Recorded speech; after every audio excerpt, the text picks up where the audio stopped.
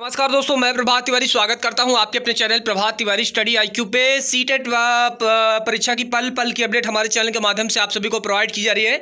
और जिनका भी इस बार सीटेट नहीं क्लियर हुआ था और जो यूपी टेट से बाहर हो गए थे दोस्तों, उनके लिए बहुत बड़ी खुशखबरी है। इस वीडियो में दोस्तों, मैं बताऊँगा कि आप लोग का सीटेट का जो नया विज्ञापन है कब जारी होने वाला है और आप लोग सीटेट को क्लियर करके कैसे आप सुपर टेट में भाग ले सकते हैं। चैनल पर नया तो चैनल को कर देना सब्सक्राइब और वेल आइकन को दबा देना। और एक बात, कभी भी लाइफ में डीमोटिवेट मत हो। हर बुरे वक्त के बाद एक अच्छा वक्त आता है तो सभी लोग आगे बढ़िए और प्रिपरेशन को कंटिन्यू करिए।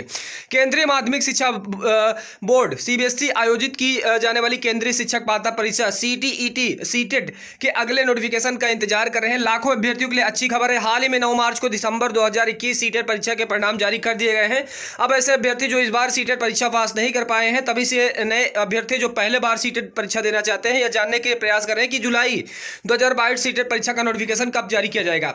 नवीनतम मीडिया रिपोर्ट के मुताबिक सीबीएसई द्वारा अगले सीटेट परीक्षा का नोटिफिकेशन जारी की तैयारियाँ पूरी कर ली गई हैं तथा हायर अथॉरिटी द्वारा अप्रूवल मिलने के बाद सीबीएसई इसी माह अप्रैल के अंतिम सप्ताह तक आपका सीटेट का नोटिफिकेशन जारी कर देगा। तो बहुत बड़ी खबर है दोस्तों, आप लोग प्रिपरेशन कंटिन्यू करिए क्योंकि अप्रैल के लास्ट वीक तक आप लोग का नया सीटेट का नोटिफिकेशन देखने को मिल सकता है। आप सभी को पता है कि जो सीटेट होता है ये हर साल दो बार होता है, यानी छह महीने पर सीटेट कराया जाता है। तो बिल्कुल दोस्तों, इस सीटेट को क्लियर करके आप सुपर टेट की वैकेंसी भाग ले सकते हैं, ठीक है? तो आप लोग बिल्कुल तैयारी को कंटिन्यू कर दीजिए, बहुत अच्छी खबर है।